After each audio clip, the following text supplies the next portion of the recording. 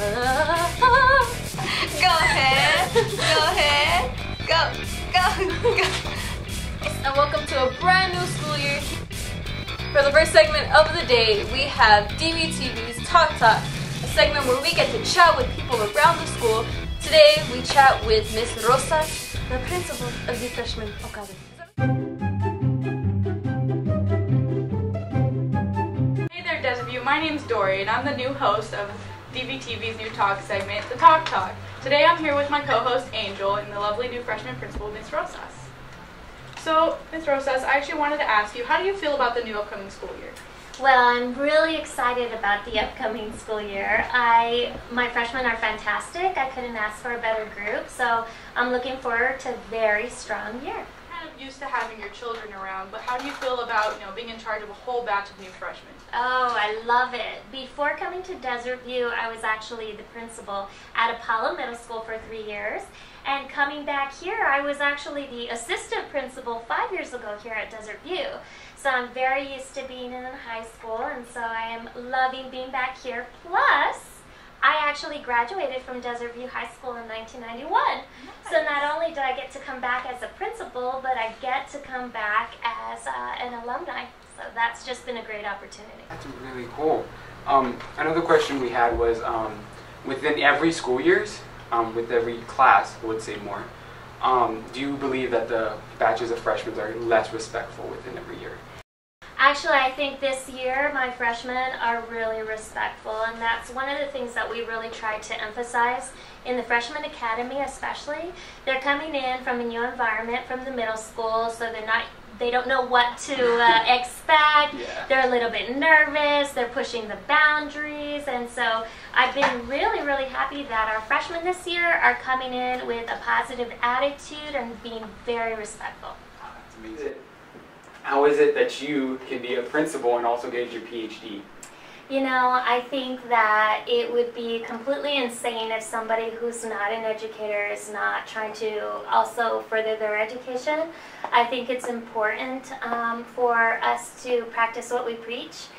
I um, do homework at night. Usually, I do work um, for Desert View as the principal until about 10 p.m. And then from 10 till about 12, I do schoolwork for myself every night. I write papers. Um, sometimes I pull all-nighters too, and I um, am studying for an assessment. Uh, but I'm a, a year and a half into the program, so I have another year to go, and I'll be really excited to have a doctorate.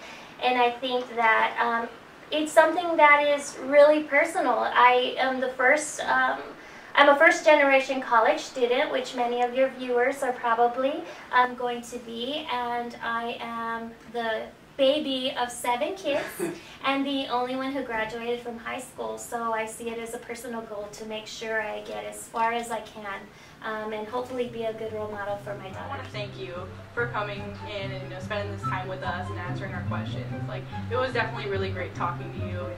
Thank you. I want to thank you. You guys are wonderful inter- interviewers, and I hope that I answered your questions, and you guys did a fine job. Thank you. And so did everybody behind the scenes. Thank you. Thank you so much. That's all for Talk Talk. DVTV will be right back after a word from our sponsor.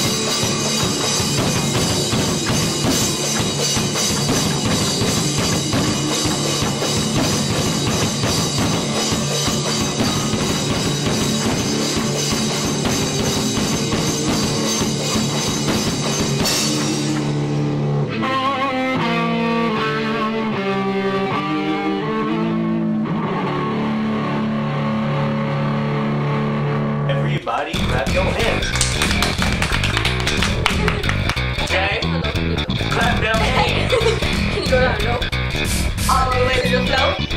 He kind of me go, oh, awesome. like, no, bring to the top. nice thing.